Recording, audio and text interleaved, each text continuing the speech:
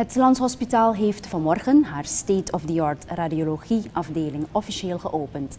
Het oudste ziekenhuis in Suriname heeft deze afdeling geopend, terwijl zij zonder een in-house radioloog zit. Dit geeft medisch directeur Sunita Nananpande aan. Ze zegt verder dat het ziekenhuis twee keer per week ondersteuning krijgt van het Medisch Diagnostisch Centrum MDC, die een radioloog ter beschikking van het ziekenhuis stelt. Volgens Nanan Pandey is de opening van de afdeling radiologie een stukje innovatie van het ziekenhuis. Uh, de afdeling gebruikt beeldvormende technieken om onderzoek te doen en een diagnose te stellen. Op deze afdeling wordt de binnenkant van het menselijk lichaam bekeken. Dit kan onder andere door gebruik te maken van röntgenstralen, dat ziet u daarboven, de bekende longfoto, thoraxfoto zoals wij het noemen. En met behulp van geluidsgolven, daaronder ziet u mooie echo van een zwangere vrouw met de baby. Uh, natuurlijk zijn er andere technieken, CT-scan, MRI, maar daar zijn wij nog even niet aan toe. Misschien in de toekomst wel.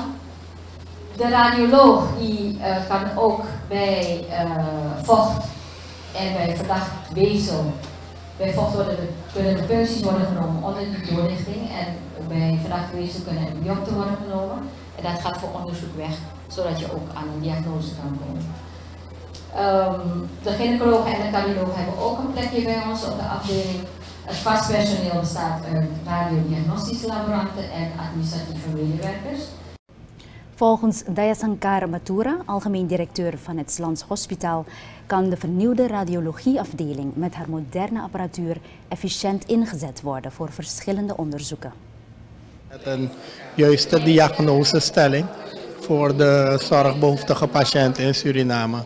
Um, het Lands Hospitaal heeft geen eigen radioloog in huis, dus zijn we weliswaar wel nog steeds afhankelijk van het MDC, uh, Medisch Diagnostisch Centrum, maar we hebben wel de faciliteiten hier in huis nu om toch wel alle uh, echografie en uh, röntgenfoto's te maken. Dus dit is echt een, een achievement voor het Slaams Hospitaal om deze nieuwe apparatuur in huis te hebben. We hebben dus nu een doorlichtingssysteem compleet dat eigenlijk in alle stand, staande foto's kan maken en ook eigenlijk doorlichting kan doen van het lichaam aan de binnenkant. En dat is nou net iets wat in de diagnostiek eigenlijk hoog gevraagd is.